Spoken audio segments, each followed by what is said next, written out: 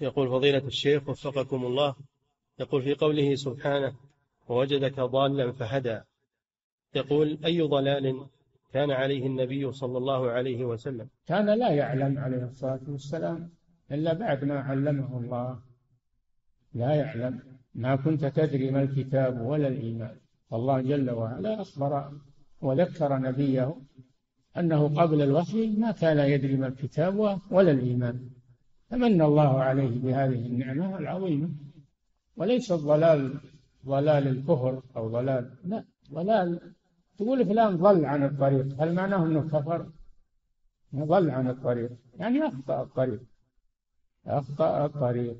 نعم فالضلال يختلف يا أخي. نعم منه ضلال كفر ومنه ضلال خطأ أو جهل. نعم.